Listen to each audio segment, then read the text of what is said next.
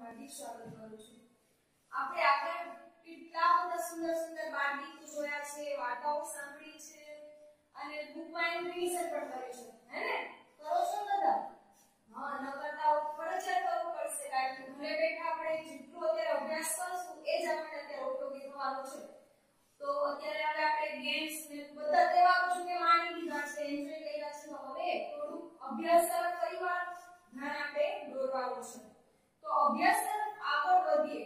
તો આપણે આજે સુંદર એવું બાળ ગીત છે જે ગાવાનું છે તો ગાશો ને તમારી સાથે તો તમે પણ તમારી સૌપ્રથમ તો પાઠ્યપુસ્તક હાથમાં લો એક પેન્સિલ હાથમાં લો નોટબુક લો જો હું કઈ લખાવું તો તમારે તેને ડાયરેક્ટ નોટ કરવા થાય અને હું બાળગીત ગવડાવું તો તમારે પણ સાથે ગાવા થાય જેથી આપણને બાળગીત પણ ગાતા આવડી જાય તો ગાશો ને બધા મારી સાથે તો તૈયાર થઈ જાઓ બધા પોતાની નોટબુક લો પાઠ્યપુસ્તક લો અને મારી સામે બેસો હું જે રીતના ગવડાવું છું એમ તમારે પણ ગાવાનું છે ગાશો ચલો તૈયાર થઈ જાઓ બધા પતંગિયાને આંગળી અડાડશો ના પતંગિયાને આંગળી અડાડશો ના પતંગિયાને આંગળી અડાડશો ના ભાઈ. નરિયું નાજુક છે એ નાનું, મીઠડું મીઠડું અને મજાનું. અડવા જશો ના લલચાઈ પતંગિયાને આંગળી અડાડશો ના ભાઈ. ભલી ઘોડી છે શ્રી આંખ, રંગ રંગ પાડી પાંખ રૂડા રંગની છાટ કેવી છવાય? પતંગિયાને આંગળી અડાડશો ના ફૂલોથી ફૂલે ફરી ફરીને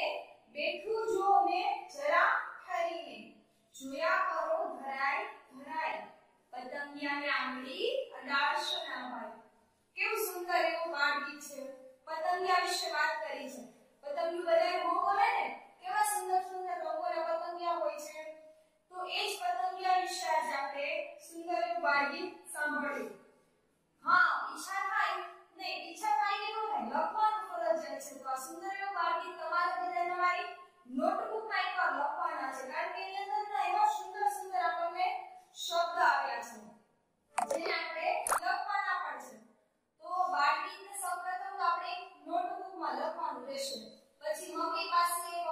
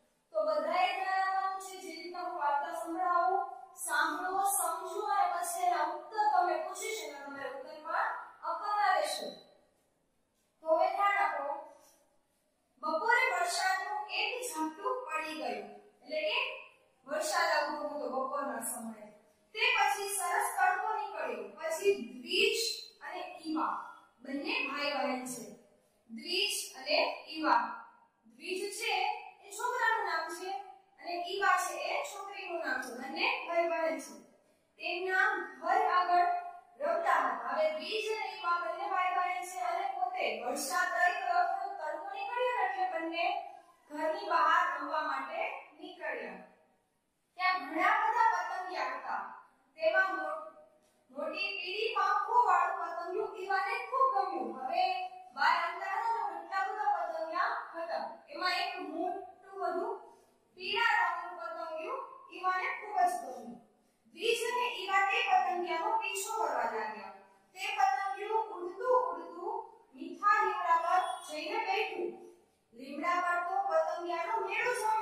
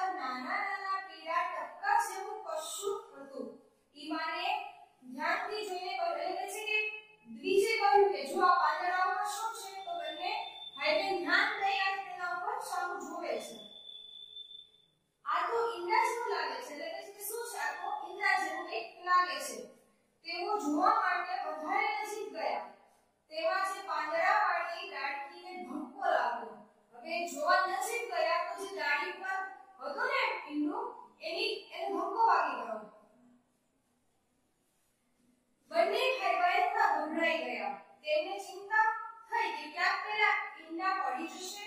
પણ હવે પોતે બને ચિંતામાં મતલબ ગભરાઈ ગયા કેટલાક તો મીંડું પડી જશે તો કારણ ધક્કો આવ્યો ને લીધે પણ એવું ન થયું મીંડા તો પાંદડાને બરાબર ચોટી રહેલા.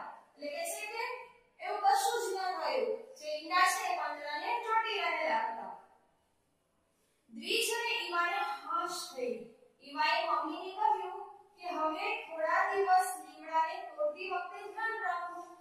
એવા છે ને એની મમ્મીને કહે છે કે થોડો સમય જ્યાં હિન્દુ છે ને નરકું એવું.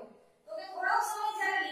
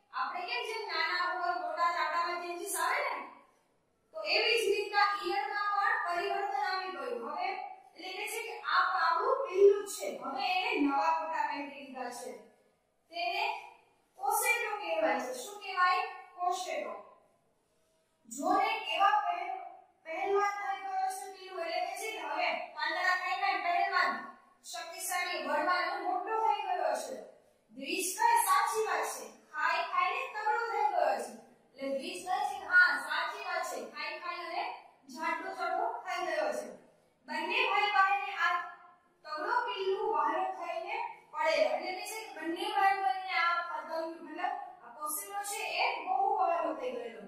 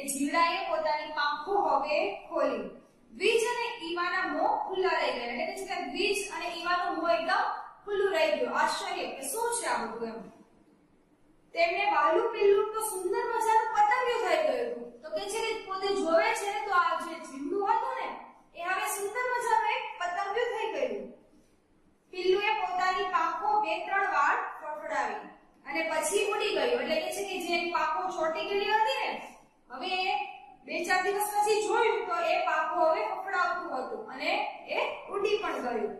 દ્વિજ અને ઈવાએ પીલુને કહ્યું, આવજે.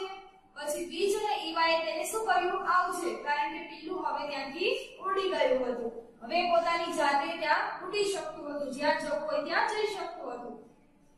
આપણે વાર્તાની અંદર સુંદર એવી પતંગિયાની કિસ્સોની સાંભળી કે એક નાનકડું એવું ઈયળ, ઈયળમાંથી શું બને છે? એક કોશેટો બને છે. કોશેટાની અંદરથી જીવડું નીકળે છે.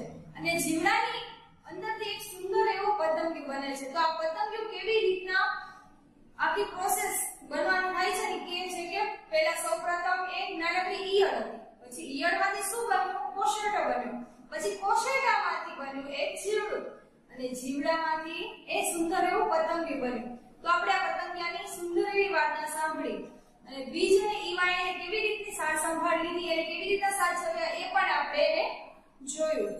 હવે આપણે આગળ જોવાનું છે વાર્તા પર જે આપણે સાંભળી એના વાત, એના પર વાતચીત કરવાની છે. તો બધા તૈયાર થઈ જાઓ અને અમુક પ્રશ્નના ઉત્તર તમારે વિચારવાના છે. અને એના પર ચર્ચા કરવાની છે. તો તૈયાર રહેજો બધા પ્રશ્ન પૂછું છું, એના કેવી રીતના આન્સર આપવા એ વિચારી રાખજો. વાર્તામાં શું બન્યું ત્યારે તમને સૌથી વધુ મજા આવી? વિચાર કે જ્યારે તમે વાર્તા સાંભળી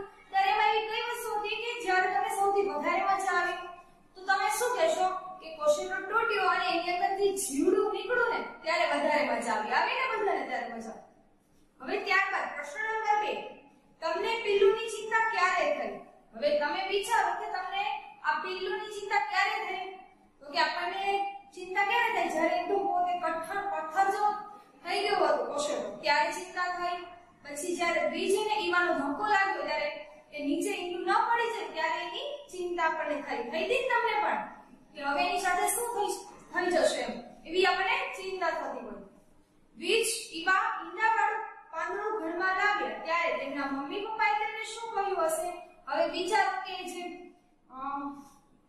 જે કોકો પોતે ઘરમાં લાવ્યા હતા ને, પાંદડા ઉપર જે ઈયળને મૂકીને, તો એના મમ્મી પપ્પા એને શું કર્યું હશે વિચારો જી?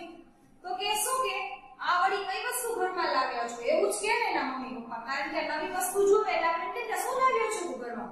એટલે એના મમ્મી પપ્પાએ પણ એવું જ કંઈ કહ્યું હશે હે ને, બરાબર ને? તમારે ઈયળને સાચવવાનું થાય તો તમે તમારા ઘરમાં ખોખું ક્યાં મૂકો અને કેમ?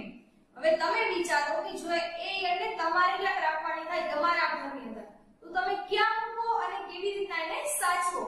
એ પ્રશ્નના ઉત્તર આપો. હવે તમે વિચારજો કે તમે એને તમારા ઘરમાં આવે તો ક્યાં એને સાચવીને રાખો?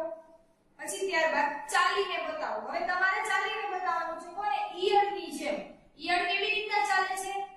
પછી સાપની જેમ. તો કે સાપ સરકતો હોય છે પેટેથી. આ બધા પેટથી સરકતા હોય ને એવા છે બધા. પછી અળસિયું છે. અળસિયાની જેમ તમારે સરકવાનું છે, સાપની જેમ અને ઈયળની જેમ. પછી ત્યારબાદ છે પગ ગણો. કીડીના પગ કેટલા હોય? ગણો અને ત્યાં આપણને ખાનામાં પૂછ્યું છે, જવાબ લખો. કીડીના પગ કેટલા હોય? ગણ્યા છે ક્યારે? ગણો. ઘરે રિસર્ચ કરો કે કીડી તમારી નજીકમાં હોય તો જુઓ, અથવા કોઈ ફોટા ઉપર જુઓ કે કીડીને કેટલા પગ હોય છે. પછી મકોડાનું કીધું છે. મકોડાને કેટલા પગ હોય? ગણો. ફોટામાં જુઓ. અથવા કે કીડી કે મકોડો કઈ જુઓ તો એના પર ફોકસ કરો. એને કેટલા પગ છે? પણ ધ્યાન રાખજો કે એને કોઈ નુકસાન પહોંચવું ના જોઈએ કારણ કે એ પણ એક જીવ છે. અને દરેક જીવની રક્ષા કરવી એ તો આપણો અધિકાર છે. તો આપણે જ્યારે કોઈ વસ્તુ કે જીવ છે એને હાનિ ન પહોંચાડીએ, એનું આપણે ધ્યાન રાખશું. તો કોઈ કીડી છે, મકોડો, એને કેટલા પગ હોય છે? પછી વંદો. વંદાને કેટલા પગ હોય છે? પતંગિયાને કેટલા પગ હોય છે? અને કાનખજૂરાને કેટલા પગ હોય છે? વિચારો. જો ફોટા પર. અથવા મોબાઈલમાં સર્ચ કરો. કેટલા પગ હોય છે ત્યાં તમારે લખવાનું છે. અને ન ખબર પડે તો તમારા વાલીની પણ તમારે મદદ લેવાની ભાઈ બહેનની પણ મદદ લઈ શકો છો. તો ત્યાં તમારે કીડીના કેટલા પગ હોય છે? તો કે ત્યાં 6 મકોડાના પણ 6 પગ હોય છે. પછી વંદાને એમને પણ 6 પગ હોય. પતંગિયાને 4 પગ હોય. અને કાન ખજૂરાને મારા ખ્યાલથી 40 જેટલા પગ હોય. આપણે ક્યારે ગણ્યા નથી. પણ જો કોઈ ફોટો તમને દેખાય કે સામે કે તમને કાન ખજૂરો દેખાય, તો એના પર ગણી લેવાના પણ એને હાનિ પહોંચાડ્યા વગર આ રીતના તમે ફોટામાંથી સર્ચ કરજો કે કેને કેટલા પગ હોય છે અને ત્યાં તમારે અહીંયા ઉત્તર લખવાના રહેશે તો આપણી સુંદર એવી વાર્તા અહીં આપણે સાંભળી એક બાળકી છે આપણે આગળ જોયું બાળકી પણ સુંદર પતંગિયાનું હતું અને આપણે જે વાર્તા અત્યારે સાંભળી એ પણ પતંગિયાની હતી જેમાં પતંગિયાની આખી પ્રોસેસ બતાવી છે કે એક ઈયળમાંથી સુંદર એવું પતંગિયું કેવી રીતના બને છે એ આપણે વાર્તા આજે સાંભળી હવે આપણને ખબર પડી ગઈ કે પતંગિયું કેવી રીતના બને છે હે ને તો આ આપણે આવા બીજા બધા નાના નાના જીવો કેવી રીતના ઉત્પન્ન થાય છે અને કેવી રીતના એ મોટા થાય છે એના વિશે આપણે વધારે માહિતી મેળવશું તો હવે જ્યારે આપણે આગલા વિડિયોમાં મળીએ તે તમારે કદાચ એવા જીવની તમારે વાત કરવાની છે કે ઈયળ છે, આપણે જે પતંગિયાની અત્યારે વાત કરી છે, એવી રીતના તમારે બીજા કોઈ એવા નાનકડા એવા જીવની વાત કરવાની રહેશે. કરશો ને બધા, એક સર્ચ નવું જાણીને આપણે હવે નવું નવું જાણવાનું છે. આપણે આજે પતંગિયા વિશે કેમ માહિતી મેળવી? હવે એવી જ રીતના આપણે આગળ બીજા એવા નાના નાના જીવજંતુ હોય છે, જેના વિશે આપણને ખાલી નામની ખબર હોય, રંગની ખબર હોય. એના વિશે વધારે આવી રીતના માહિતી મેળવવાની છે. તો મમ્મી પપ્પાની મદદ લો, અથવા ભાઈ બહેનની મદદ લો, અને એ જીવજંતુ વિશે વધારે માહિતી મેળવો. મેળવશો ને બધા? પછી એને એવું લાગે તો નોટ કરી લેવાનું. લખવાનું એના વિશે માહિતી મેળવવાની. કરશો ને બધા? હા, કરવાની છે ફરજિયાત. તો આના પછીના નેક્સ્ટ વિડિયોમાં હજી આપણે ઘણું બધું જોવાનું છે, જાણવાનું છે, સમજવાનું છે. પણ એના માટે તમારી તૈયારી પૂરતી હોવી જોઈએ. કરશો ને બધા? તો હવે આપણે આ વાર્તા સાંભળી છે. આ વાર્તાને તમે સુંદર રીતના ઘરે વાંચન કરો અને આ વાતચીત જે પ્રશ્ન આપ્યા છે, એને પણ તમારા મિત્ર સાથે, મમ્મી પપ્પા સાથે વાતચીત કરો, ચર્ચા કરો. આના પછીના નેક્સ્ટ વિડિયોમાં આપણે બધા ફરીવાર મળીશું. Thank you